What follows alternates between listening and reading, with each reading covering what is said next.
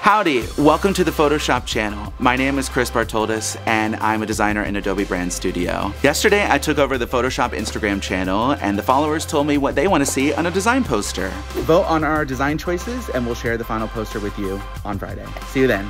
I wanted to make a typography poster because type is a part of everything that I do in art and design. It can be used in so many different ways. And the way that I love to use it is by distorting type and really using it as a way to just generate shape and form and composition. I knew that I wanted to use scale variable, but the rest was up to you. So I asked y'all what height, weight, and color scheme you want to see. So come edit with me. Theme for my poster is gonna be repetition, and I'm gonna use the word repeat over and over and over again until I get tired of it.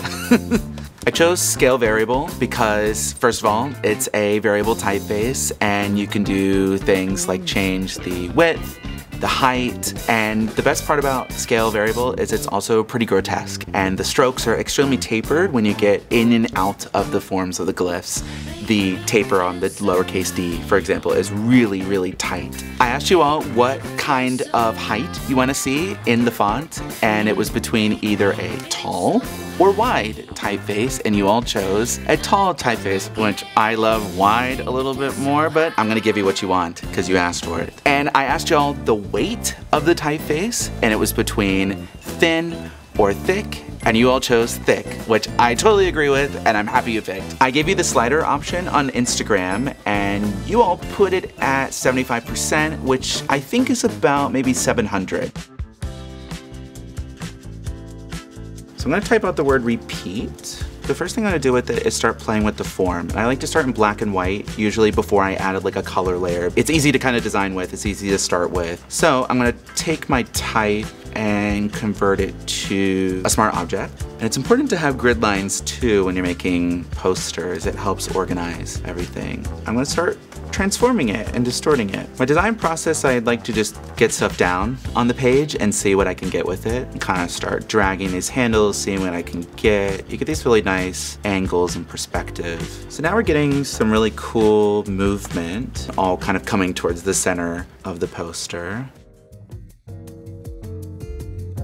Getting the perspective right on this poster is really important because when you're designing in three-dimensional space, you have to get the perspective always right on the head every time. And it's always good to have the grid system to go off of. In this case, when I'm making the top ground and the foreground and the walls, they all come to a point in space. And so I'm trying to make them all come and meet at that point. I'm going to add a blur effect to when you get closer to the middle. I'm gonna go up to filter, go to pixelate and mosaic. And it's gonna turn the whole thing mosaic. I don't really want that. Going over here to the mask under the smart filter, I'm gonna paint around so it makes this kind of gradient effect as you go towards the center. And the blur effect is gonna add some really nice artifacting on it so that when we add color on top of it, it's gonna have a lot of variation. It really will draw your eye towards the middle. I think I am ready to move on to color. Is it either black and white or colorful? And you all chose colorful. And to be honest, I love black and white, but I will go with colorful. But I don't actually know what color I'm gonna do. So I'm gonna choose from the gradients panel in Photoshop. And so gradient maps take the form of whatever you're gonna put on it and map a gradient to it. So to get a nice color variation, again, I'm gonna choose from a lot of the different options that Photoshop already offers for gradients. Like this one uses like a lot of pinks and orange and indigo. You can see that the gradient in the middle is being applied to the mosaic and it's creating this kind of weird shifting effect. And that's because there's multiple different stops along the gradient. So you get one that's like purple, one that's pink, orange. When you're in the gradient, if you want to add a stop, like add another color to the gradient, you just click under the gradient strip that you see here and it creates a stop along the gradient. You can use sliders, but you can also type in values. So I like how saturated the blue is, but I want it to be like way more bright. So I'm gonna do 100%. And that's the same thing as dragging up and down the slider. If you're doing left to right, that's saturation. This is the part where you start to question everything and it's like, is this really good or not? I like it, but I think purple's gonna work quite well. It's creating this like tunnel effect that we're looking for. I'm gonna keep it super high brightness. Saturation, I'm just gonna turn it down just a little.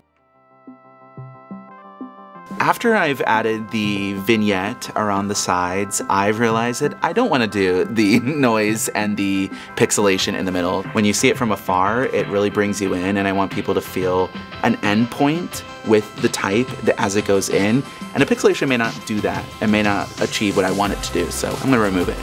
Here is my final poster. I love how it turned out. Thank you so much for joining us today. Follow us on Instagram for the next Edit With Me video. See you all.